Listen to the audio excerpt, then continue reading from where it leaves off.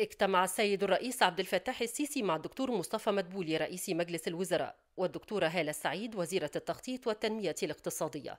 بحضور السيد أيمن سليمان المدير التنفيذي لصندوق مصر السيادي.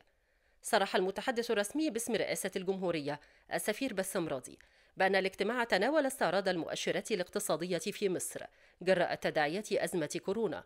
حيث قامت الدكتورة هالة السعيد بعرض الوضع منذ بداية العام الجاري 2020 حتى اندلاع الأزمة.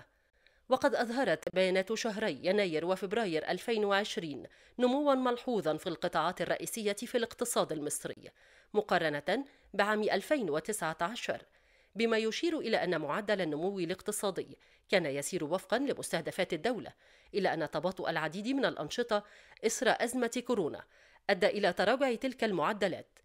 ولكن في المقابل ستظل مصر من الدول التي ستحقق معدلات نمو إيجابية بنهاية العام المالي الجاري مقارنة بالدول المتشابهة من الأسواق النامية والاقتصاديات الناشئة على المستويين الإقليمي والدولي.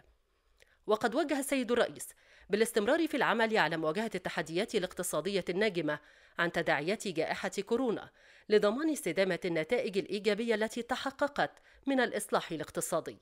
خاصة من خلال دعم القطاعات الاقتصادية الأكثر تضررا محليا ودوليا كالسياحة والأنشطة الخدمية والصناعات التحويلية إلى جانب توفير السلع الاستراتيجية من منتجات غذائية ومستلزمات طبية.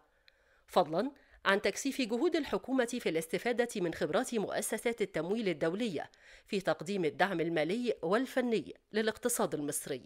بالإضافة إلى استمرار الجهود المبذولة لتعميق المكون المحلي في التصنيع بما يساهم في ترشيد الواردات. وكذا في التركيز على تدريب ورفع قدرات الكوادر العاملة بالقطاع الصناعي.